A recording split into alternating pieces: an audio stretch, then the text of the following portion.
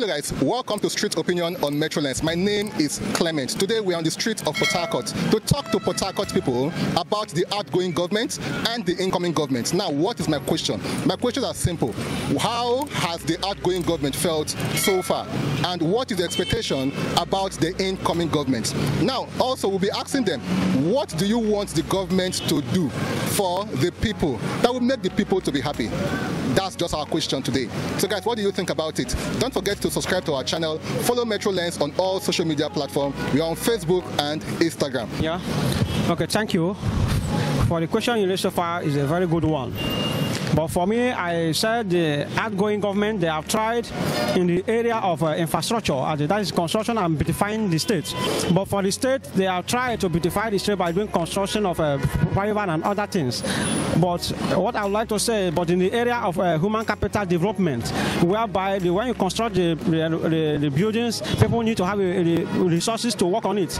In a process whereby people don't have something to do to apply on those things, it causes a challenge to the people. Also for the federal uh, government, the outgoing government, at least, I might say they have tried in some ways and the, by the area of local production, which they say that we should, uh, people, the farmers, I can say that the farmers are happy that they are, they are selling their, uh, their outputs, I mean, their products.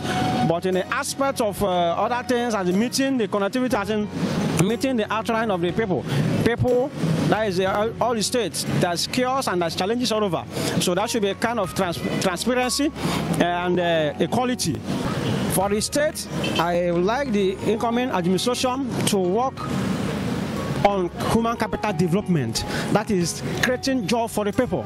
Because many many youths that are into many other humdrums and things these people these youths are hardworking.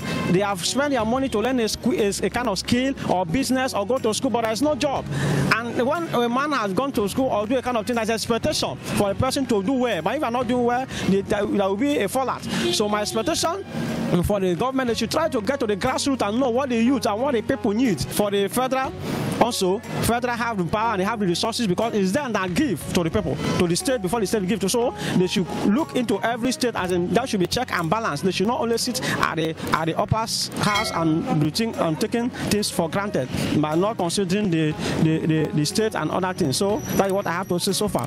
The, the incoming government they should try as much as possible to work on human capital development. That is job creation and business enabling uh, business enabling environment yeah. so business enabling environment and work on their taxation to create a kind of business and give grants to the people, raise uh, uh, money for the people to start a business. So this is what I have to say.